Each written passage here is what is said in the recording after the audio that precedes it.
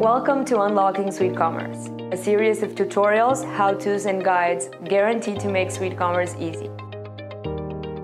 Hi, I'm Pia, Project Manager at Tavano Team, and today I'll show you how to set up the login and register features in SuiteCommerce. The login register feature is, just as the name implies, where customers will register to your site and where they will log in after they become registered users. Login and register always appear together, whether as links on the homepage or in full form on the login and register page. For the registration process, this is the basic data required. First name and last name, email address, and password, which needs to be typed twice. Also, users can check the box to sign up for the newsletter, as we saw in the newsletter and sign up video. Check it out on the link above if you haven't watched it yet. When the user completes the registration form, NetSuite creates a new lead, granting them access to the website automatically. Remember that NetSuite will not convert the lead into a customer until they complete their first purchase. Side note, by default, anyone can register with the same email address multiple times.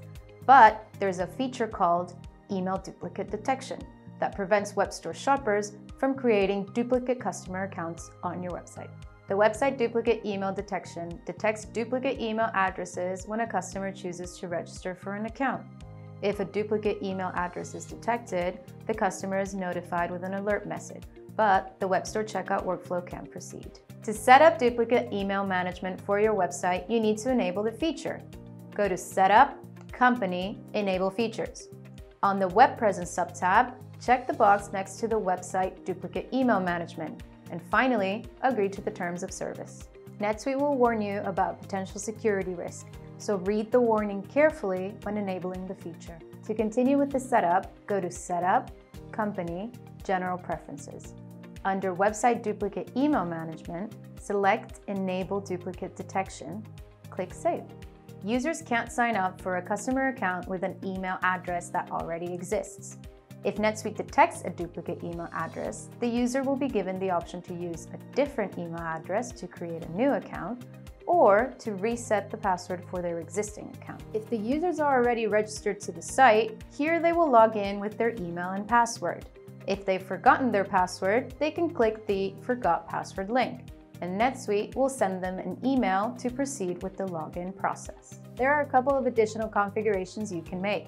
For instance, you can password protect your website. In a password protected website, customers cannot access the site until they have logged in. Many B2B sites opt to use this feature, where the merchant approves which users or clients can access the information on the website. To set it up, go to Commerce, Website, Website List. Choose your site, go to the Shopping subtab, and check the Password Protect Entire Site checkbox. Select Disabled if you want to prevent shopper registration on your site all shoppers will be anonymous. Select existing customers only if you only want customers who have login access to complete the checkout process. Select optional if you want customers to be able to choose to register or to shop without logging in.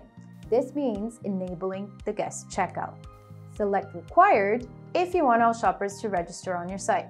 With this option, a record is created in NetSuite with contact information, even if the shopper does not complete the checkout. I want to have an additional field in the registration form for the company. How can I add it? Go to Commerce, Website, Website List. Choose your site, go to the Shopping subtab, go to the Registration Page section, select the Display the Company field on registration page. You can also select the mandatory checkbox if you want this field to be required. And you're done. How can I make sure our new customers are created as companies instead of individuals, as it happens by default? The registration page section, select checkbox, create customers as companies. And you're done! You're now ready to make the most of the login register feature in your SuiteCommerce website yourself. Give it a try! Subscribe to our channel for more SuiteCommerce tutorials and don't forget to turn on the notifications. See you next time!